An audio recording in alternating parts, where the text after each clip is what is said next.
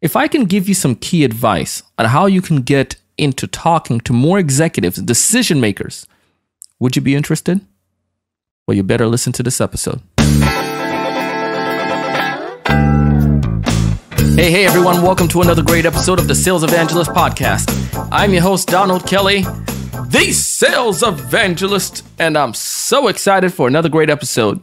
As you heard in the teaser, today I brought on one of our friends. He's an executive, actually a CEO, actually a business owner. And just like most business owners, we want to get access to those individuals. We want to get to them because they're the, you know, they're the ones typically making the decision. They have the money, right? So I want to bring my good friend Stu on today to chat and get some advice from him on how we can better position ourselves to get actually connected with these executives. But before that, as always, you know, I got to give some shout outs. I want to give a big shout out this week to Olja. Thank you so much for joining our group. I'm excited to have you. Josh, thank you so much. Excited for the comments and the things that you will share with us. Jeb, continue to hustle as always and happy birthday. So, for all of you out there, if you want to join our private Facebook group, shh it's called the Sales Evangelizers. You can find it on Facebook, the Sales Evangelizers. You can always go to our Facebook page, which is go to Facebook and just search for the Sales Evangelist. This way you can get information from us, updates, what's going on, get motivation, tips, quotes, and just some activities, what's going on behind the scenes here at the Sales Evangelist. But we have a great guest. I'll let Stu introduce himself. I won't take up much more time, but let's go ahead and dive into our episode. Welcome to the show, Stu. Hey, thanks, Donald. Good to be here. Man, I'm so excited to have you. I know you got some great information that you're going to share with us today, but before we dive into the episode, I want to get from you. Tell us about your coolest sales experience when you were the customer. You know, I had an experience just recently where uh, an ad platform was trying to sell to us and they wanted us to use their platform. And uh, I had some really strong concerns, deal breaker concerns. And I thought going into the call that it would be fairly quick. I was going to get right to the point, tell them my reasons why it wasn't going to work out. And concern after concern that I brought up, and it wasn't that I wasn't willing to do a deal if we could get them resolved. I, I was totally willing, but mm-hmm. I went into it knowing that there was probably a couple concerns in there we couldn't really get resolved. And everything I came up with, all the different reasons why it probably wasn't going to work, they had really prepared. They knew they knew exactly what to say and what was coming their way. And so, unlike most times when I felt like I, sh- I could shut down a salesman because you know this isn't going to work out, guys, and here's why. they had all the right answers, and it boiled down to how prepared they, they were. And it was just a really cool experience to go wow, they just blew me out of the water and and convinced me that this is the right thing and, and here's why. And it's already been a win-win deal with them. And I was uh, really adamant that it wasn't going to work out, and I even told my partner that it was going to be a quick call because there's here's the reasons, and he agreed. And so, you know, to have that type of an experience, um, having been in, in the on the sales side myself, was really neat. And uh, I think that's got to be the coolest one. I was I was hoping to tell you like, oh, this company took me on a sail on a trip to Alaska fishing or something cool like that. But it was, I think just like that refreshing moment of like true traditional sales folks that work hard and prepare well can can get a job done and make deals happen. Not the old fashioned way. I wouldn't I wouldn't say that because it's a consultative sales approach they gave me and it worked.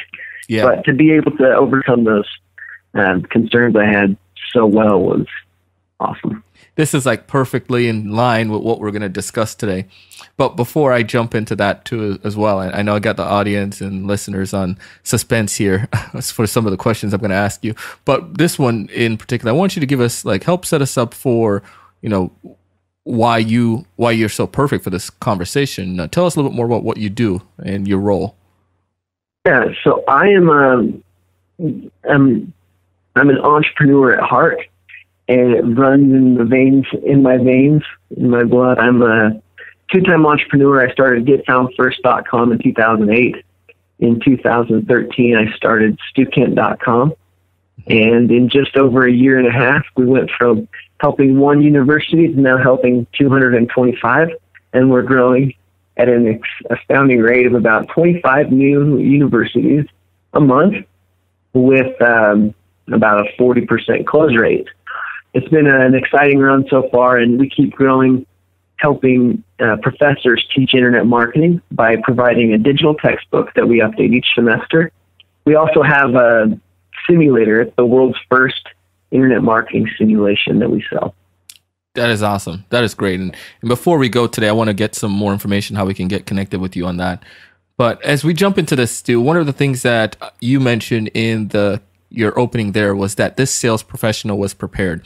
Most of my listeners, people who are listening to the show right now, they are entrepreneurs, sales professionals, new sellers, or experienced veteran sellers. But one of the things that we all understand is that the key of understanding how to get to CEOs, CEOs makes a decision most time for companies, and they're the ones that can truly truly are the ultimate decision makers. Sometimes, depending on your product, mm-hmm. you have different levels.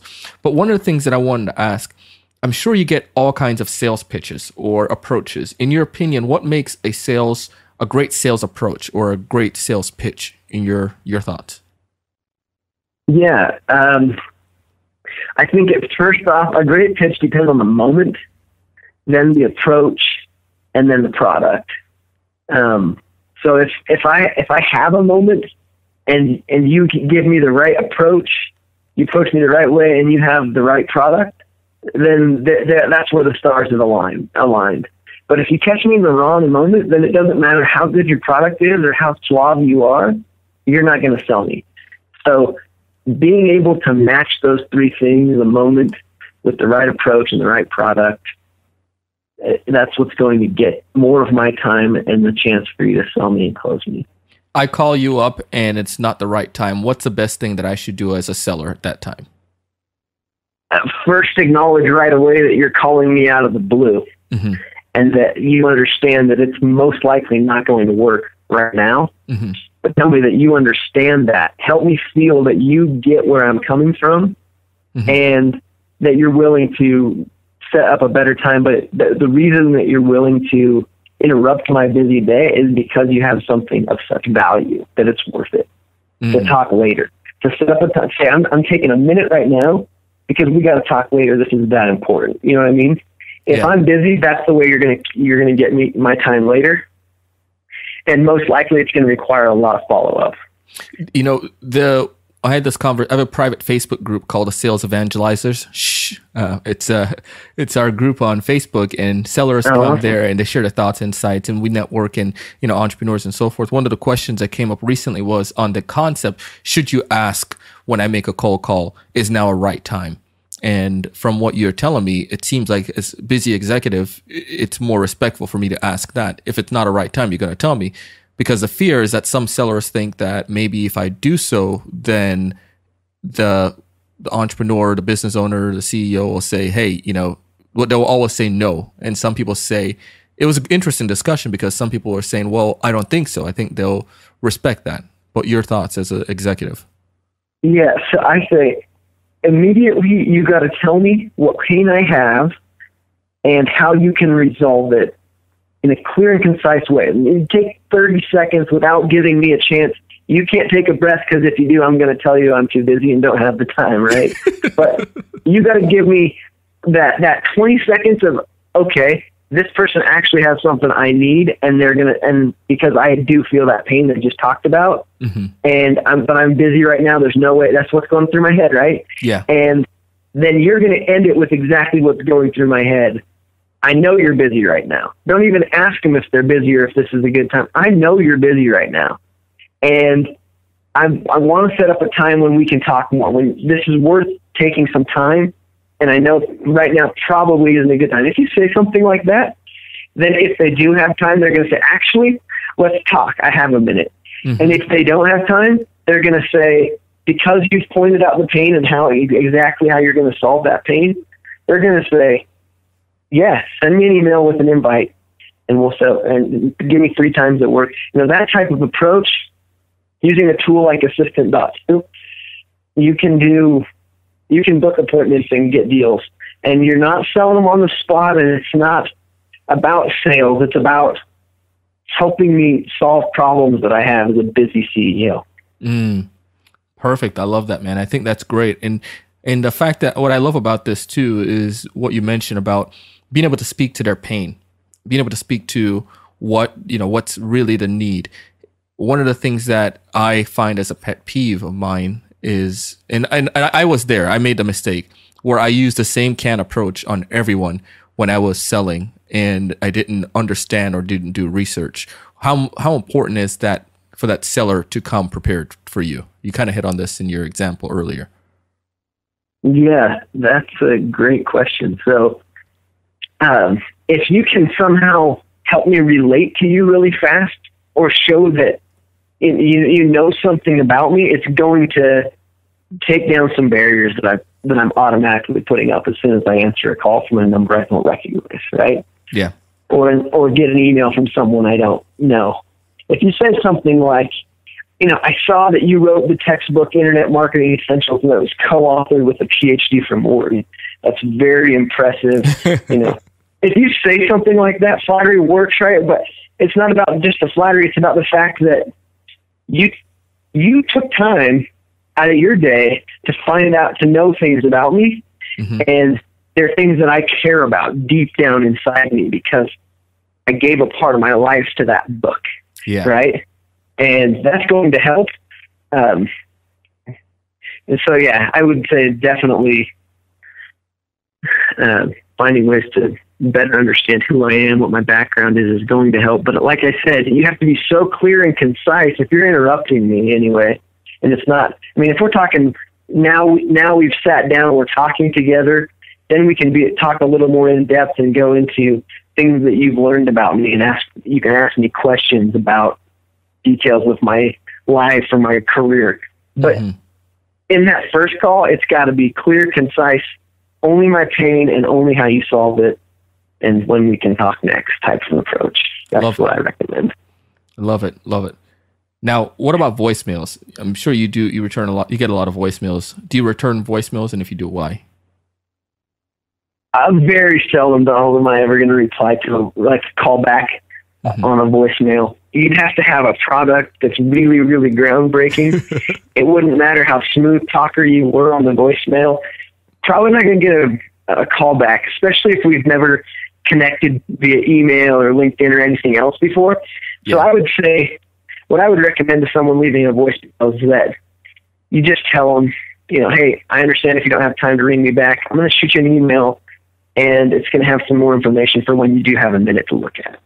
And by doing that, the, the human touch now comes into the email, and it's no longer a spam email to me. Mm-hmm. It's not about some email from some chump I don't know. It's some guy that actually, this guy that's emailing me already took time out of his day, cared enough to call me, and I was too busy for him. Now I owe it to him to at least read through his email, and if it's worth my time, I'll reply.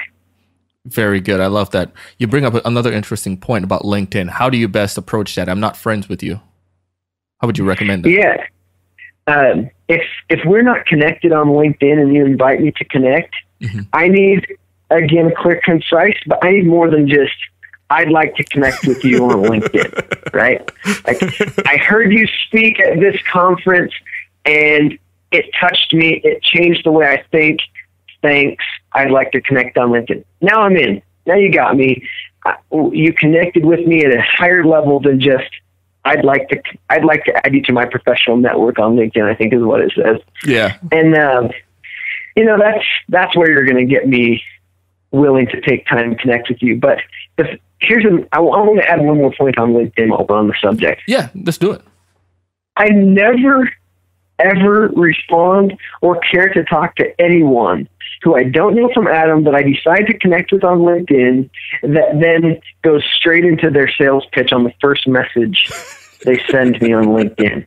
That's not social selling, okay? There's nothing social about a relationship where just because we connected now you can pitch you can pitch me your product.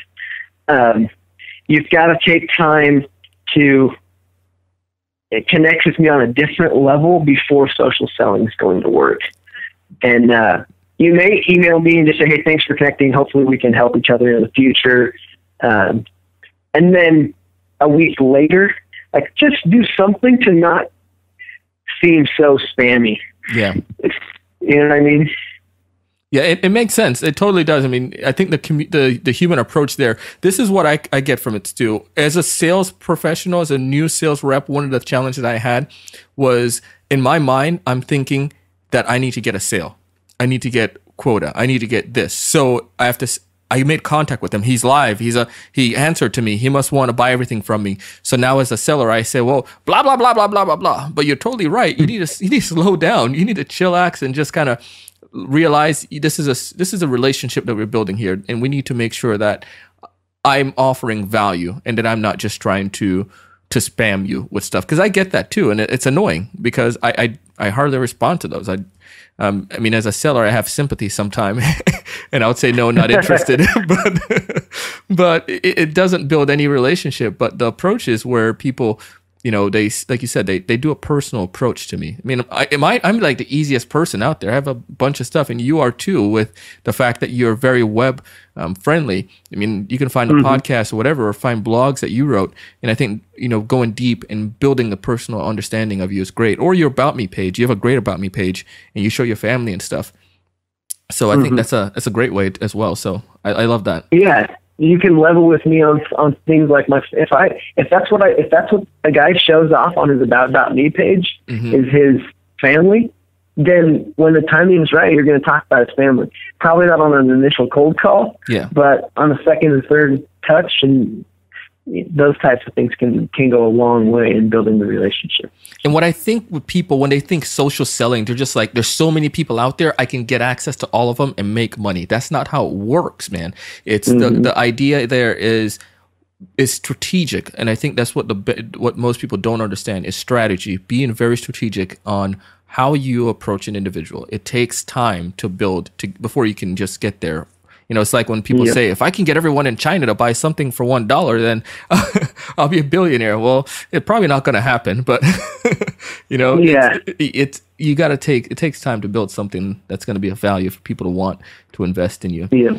Now, mm-hmm. we spoke a lot about voicemails, about emails as well. You kind of hit on that. What what about emails that makes them makes it benefit for, beneficial for you um, that someone you know is going that you're going to return a salesperson's email or reply to it? Yeah, yeah. So I, I, you know, I think that you've got to give me some. You got to give me something here. What, like, tell me, spark my interest. Do something different that I don't read in every other sales email. Do something that's going to make you stand out and, and deserve my time. Whether that's, you know, you uh, you link to a, a video that's going to only take a couple minutes of my time and after I watch it I can respond to you about what I saw and and let you know if it fits for what we're doing or if it's worth talking more about. Uh, guys, I got to tell you that it's when it comes to an email, you, you, it doesn't matter how creative you are in what you write. You've got to have a product that's going to make the difference, and um, that's going to make make it worth my time. And so, in, in that case, what I'm what I'm telling you, you salesmen out there today, right now, is are you selling a product that is making it easier for you to sell? Because if you're if you're selling a a product that's been around forever and and and I can go get it from 30 other companies tomorrow, then I don't have time for your email.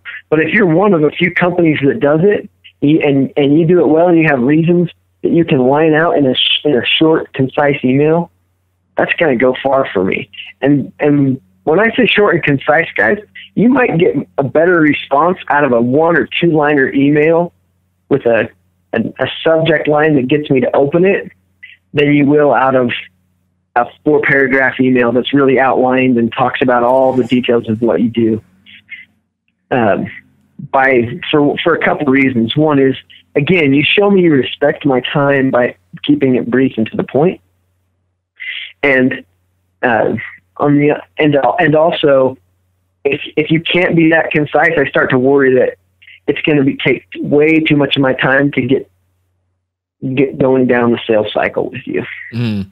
And I, I think that makes total sense there with the the idea of short and concise. And I, think it goes back to what we were talking about with the other one: is don't try to kill it on number on the first one on the first thing. It's just like with dating or with anything else. You're not going to, you know, only you, you're probably not going for a kiss on the first date. So you, you want to make sure that you go ahead and set it up. You got to recognize that this is a relationship. This is a long term approach that you're going after. I love what you mentioned as well that it doesn't matter how creative or eloquent of a Shakespearean writer you might be or Mark Twain. I'm not going to read that book. Keep it short, keep it concise, two sentences. Mm-hmm. And I imagine what might be powerful in there is, you know, like again, a, a, the something that's going to grab you, the attention getter, the email subject line, or maybe a thought provoking question that elicit the pain or maybe something that in you know you can if you can describe the pain in two two par- two sentences or whatever i feel that you know the approach is when i've done that when i've sometimes if i got referred by them i use that in a subject line or or something. Somehow i can make that connection or just describe the challenge and i do that in two sentences. And then next email is like yeah let me learn more. I set up an email invite and then next thing you know i have a conversation with them and i go deeper. Um, and is that something that you kind of referring to there a little bit? Yes, exactly. You're right on. Yeah. So multiple step approach with that. Now I know mm-hmm. we. I want to respect your time, and we have a few more questions. Um, is it okay if we continue to go for a little bit? Yeah, let's do this. Man, you got some good stuff coming out here, man. Um, creativity, I know that's important. Obviously, it doesn't matter how again how big of a Mark Twain writer you are. How important is creativity though in the approach um, for potential sale? You kind of mentioned this, alluded to it a bit in the couple questions yeah. back uh, where you know do get some information but creativity are, mm-hmm. have you had, ever had any creative approaches that someone came to you or how important is that to you? Yeah creativity gets you in the door like a resume gets you an interview man. Yeah. Then then your product matters and and how you show me the product matters. Get creative with that part of the approach. What do you mean by um, that don't want to, I mean, if, if I've given you time, if I said, yeah, I actually have 15 minutes right now, and you can just chat me a link or email me a quick link to a join.me, and you can screen share and show me the product in action, and you know how to get around in your product really well, and it's a, it, it, that type of stuff can go a really long way. Even if, even if you're like, well, my product is tractors. Okay, well, you've got videos. Send me links to your videos that I can watch before we have our conversation of those tractors in action.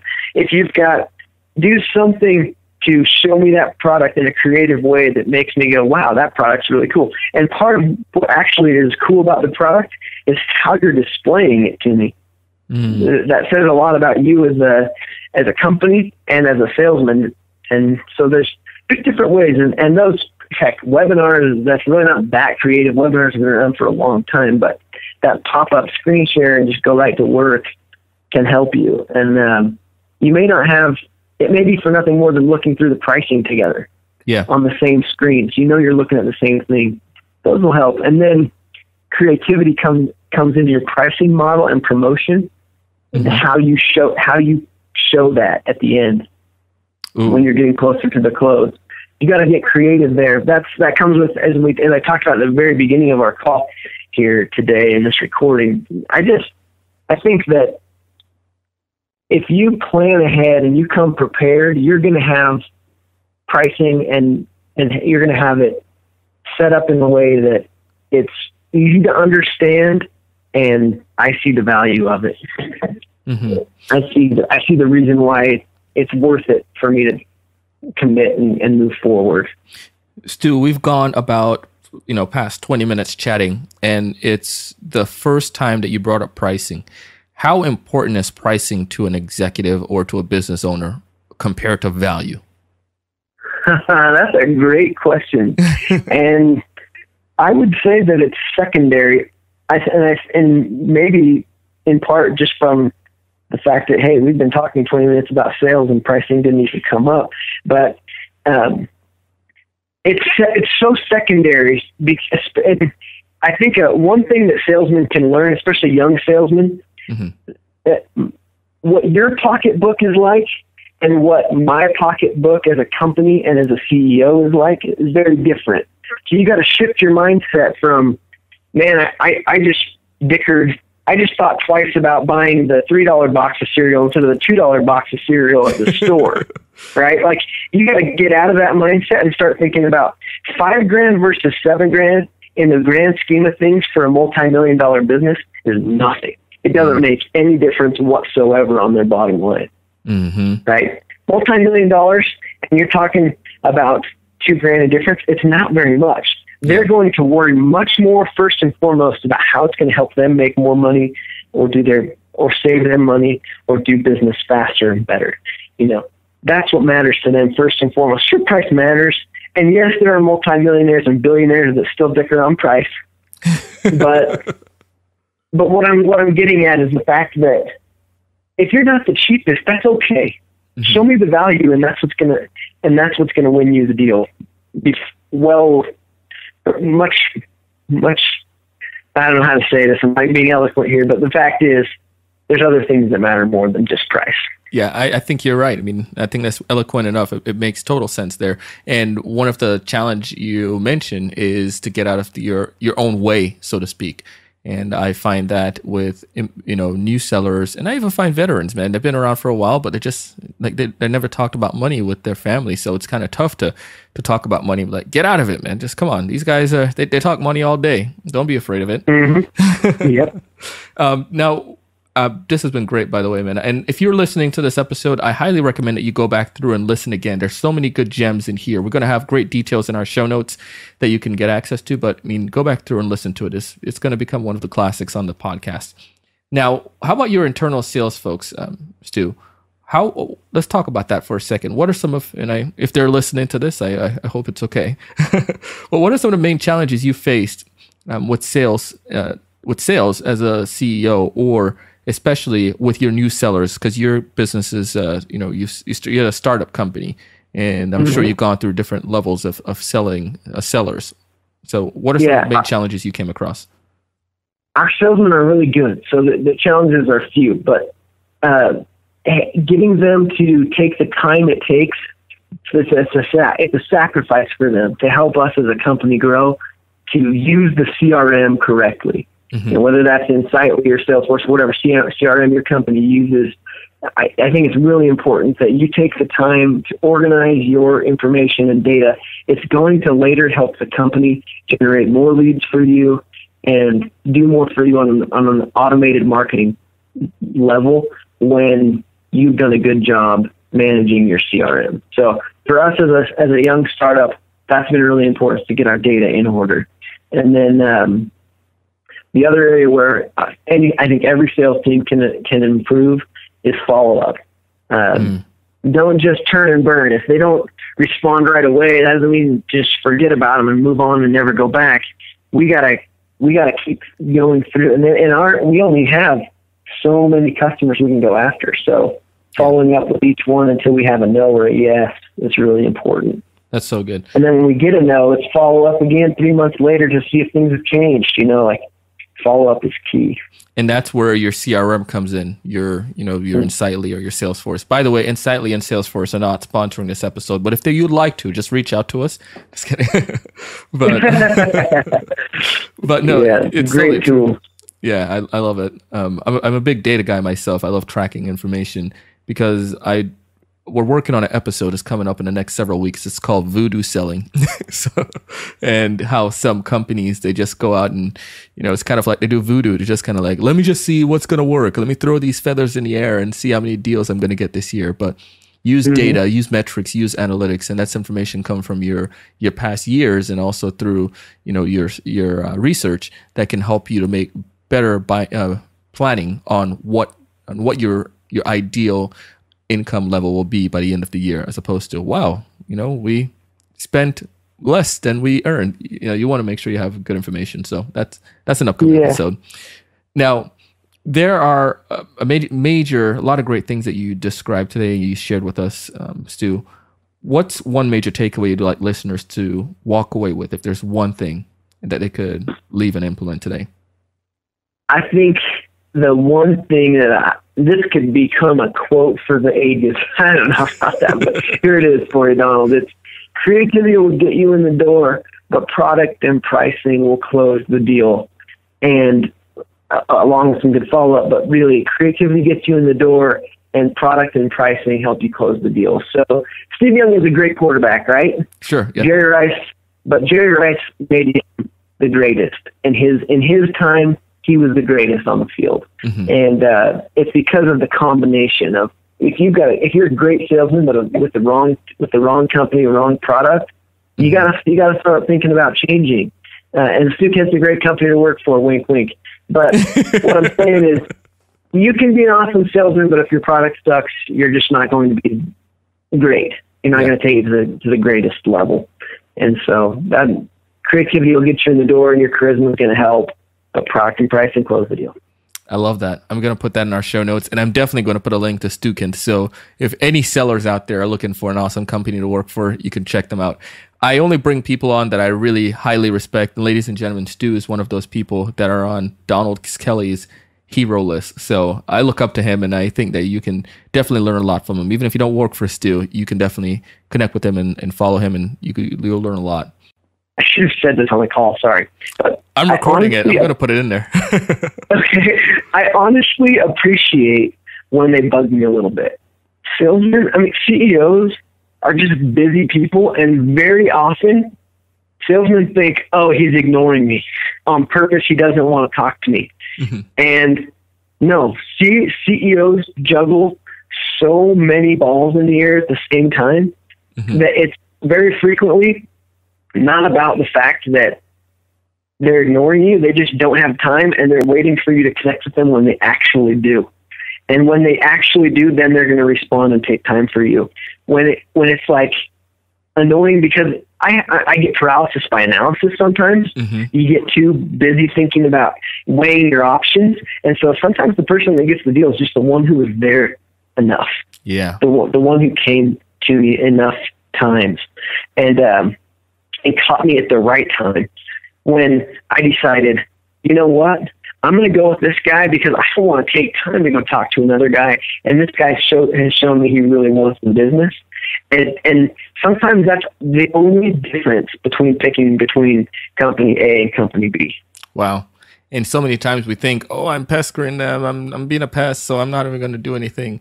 Um, you just, that just validates that you need to keep moving, keep going. You do. Yep, it's it does make a difference. And until they're telling you, "Hey, you're annoying me, it's bugging me," you're probably not bugging them. They, they probably don't, too much. Probably haven't seen your last 15 emails because they've been traveling. yeah, exactly. It got buried. They get so many emails, they don't even respond to their own employees' emails. It's it's almost probably like Twitter, you know, where oh my goodness, nobody responded to my tweet. Well, it's moving like 10,000 tweets exactly. per second. So yes, that's exactly right. well, that's great, man. I love that. I'll add this in there. Cool. Cool, man. Glad to help with that because I think that's really val- valuable insights for salesmen that are struggling and thinking, "Oh, I can't bug people." Now, what are some of the current projects you're working on, Stu?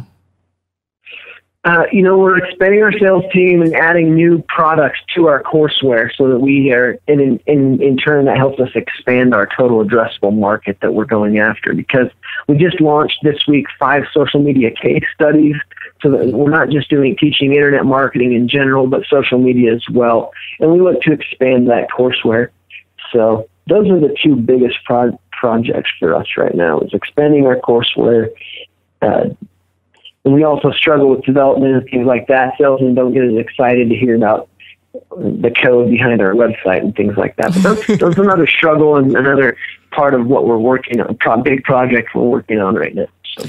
Are you guys? I know you have plenty of business that you're probably taking advantage of in North America, but do you guys have ambitions to go worldwide or to look at Europe?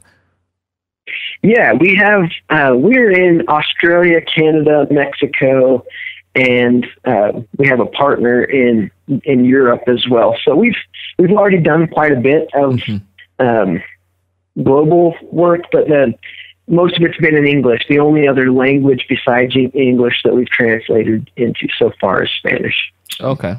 Nice, man. Well, Stu, we enjoyed having you on the show today. You brought us a ton of knowledge, and we truly appreciate and respect your time as well. So, thanks so much for coming on the show. What's the best way for us to stay in touch with you if you want to get connected with you and Stukent?